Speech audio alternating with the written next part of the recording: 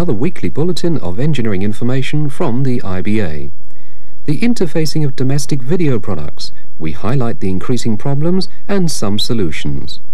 On the radio front, a new relay for Orchard FM near Yeovil, and in community radio for London on VHF Melody Radio.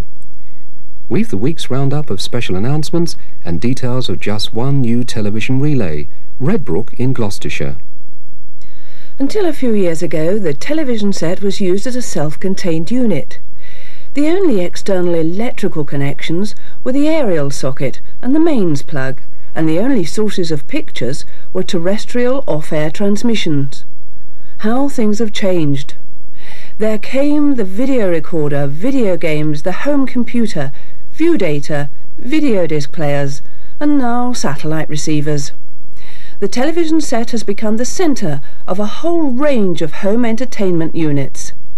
And it's hardly surprising that connecting them all together can be a nightmare. In fairly simple systems consisting of a VCR and perhaps a single satellite receiver, the traditional approach of interfacing on or around channel 36 usually works quite well.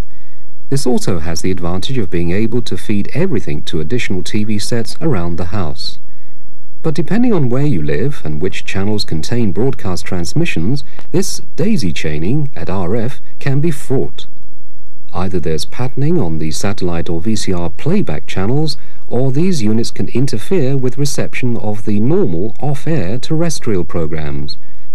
A greater range of adjustment on built-in modulators would help considerably. But there are more problems. The possibility of a fifth UHF channel using channels 35 and 37 will cut down even more the options for RF interfacing. And as far as BSB receivers are concerned, the improved pictures and digital stereo sound from the MAC format will only be obtained by making the appropriate baseband connections. No doubt within a few years, integrated television sets and VCRs will become available with all the necessary tuners, decoders and interconnections built in. In the meantime, though, careful use of baseband interconnection will be the only really successful way of coping with the problem. Fortunately, we have the European standard Peri Television or SCART connector to do this. The SCART system uses a special 20-core multi-way cable plus an overall screen. It allows for stereo audio inputs and outputs, PAL video in and out, and, increasingly important, three pins for RGB signals with independent earth returns. There are also pins for blanking and function switching signals and two pins allocated for control data. If all items of equipment have one SCART socket, then interconnections begin to get easier. But in order to achieve a fairly complex system with, say, a VCR and two satellite receivers, there will need to be some switching units, especially for video recording, to be independent of live viewing. Having at least two SCART sockets on each piece of equipment would be very helpful for this sort of problem. Even then, there are pitfalls for the unwary. The recent arrival of BSB receivers with their RGB and PAL video outputs has shown that merely connecting up to view with a SCART lead could leave you watching the PAL version, rather than the preferred RGB output. First of all, you need to use a SCART lead with all the pins connected. Some cheaper and thinner leads provide only the basic audio and video connections. Pin 8 needs a control voltage to force the TV set to select external video rather than its own tuner and pin 16 needs the appropriate voltage to select the RGB pins instead of composite PAL. Any switching boxes need to cater for these pins, and some early TV sets with SCARTs do not even provide the RGB video input connections at all. The pair of pins allocated for control data may also prove to be important in the fairly near future and should be catered for in any switching boxes.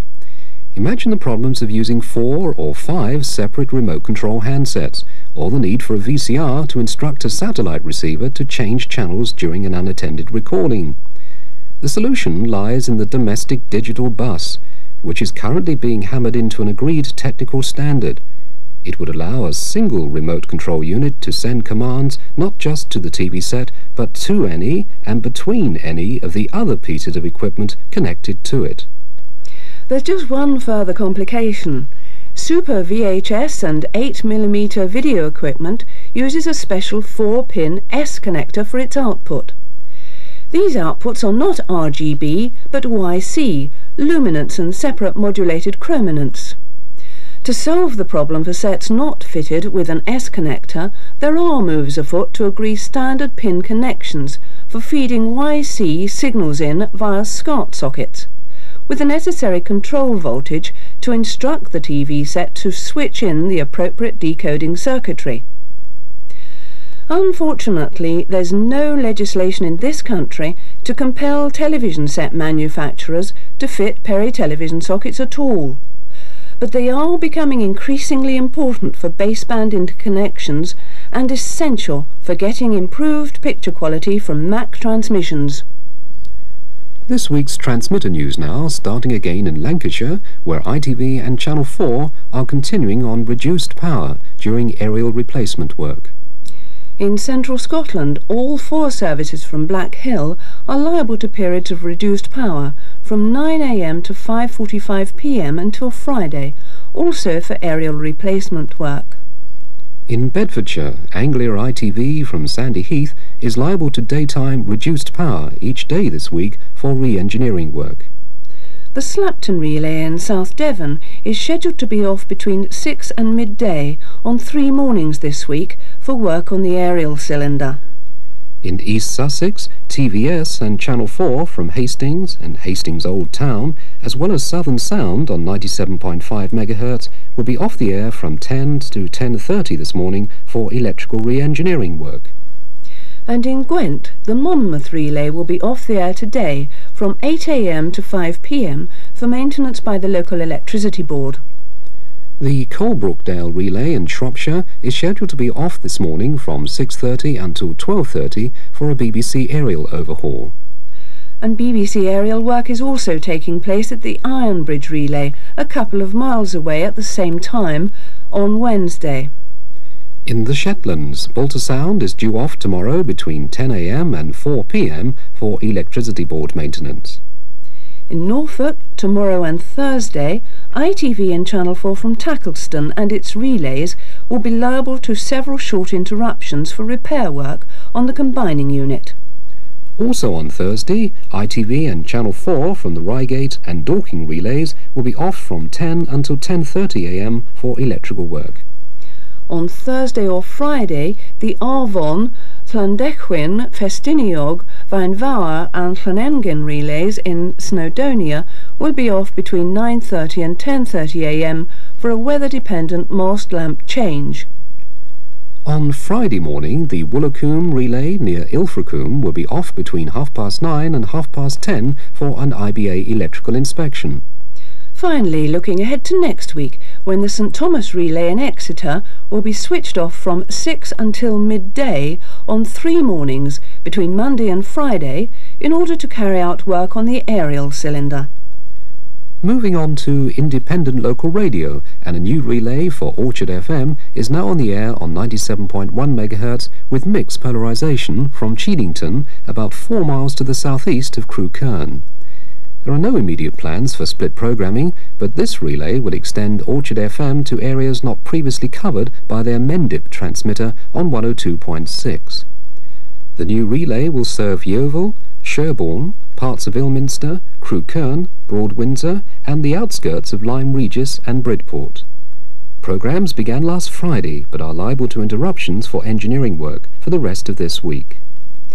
Incremental radio now, and for London, Melody Radio, on test on 104.9 MHz, vertically polarised from Croydon. This station plans to broadcast melodic, easily listening music with regular news and essential information for the Greater London area, with a potential audience of just under 10 million. Programmes are scheduled to begin on the 9th of July. And there are still another five incremental stations planned for this year. Radio West in Lothian, Kiss FM for London, in Coventry Radio Harmony, Wear FM in Sunderland, and North East Essex Community Radio. More details when firm dates are known. Television relays next, and in Gloucestershire, a new station for Redbrook is now on the air. It are about 320 people, most of whom have been depending on a self-help active deflector. Others have been receiving very poor signals from Ridge Hill or Clearwell. HTV West is on Channel 42 and Channel 4 on 52. Group B aerials are required vertically polarised. That's Redbrook on the England-Wales border, southeast of Monmouth, now on the air. And that's all for this. If you have any technical queries on independent broadcasting, our address, Engineering Information, Independent Broadcasting Authority, Crawley Court, Winchester, Hampshire, SO 21 2QA. Our telephone number is Winchester, that's 0962 822 444. Office hours are 8.30 to 4.30. At other times there's an answering machine. We hope you'll set your VCRs for next 5.45, but in the meantime, from Adrian Good and from me, Maury Nicholson, goodbye from Crawley Court.